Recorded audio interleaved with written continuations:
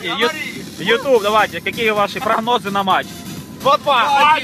Нет, давайте каждый по очереди. 2-2. Какой? 2-2. 2-2.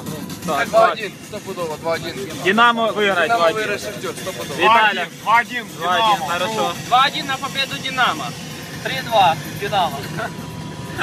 Сколько? Это два? Два? Він просто, він просто да. Да, і все. В общем, большинство говорят Динамо Шахтер, что Динамо 2-1 выиграет, правильно? Ну всё. 2-2.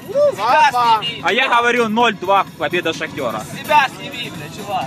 Иди домой. Говори. Только Днепр, только победа.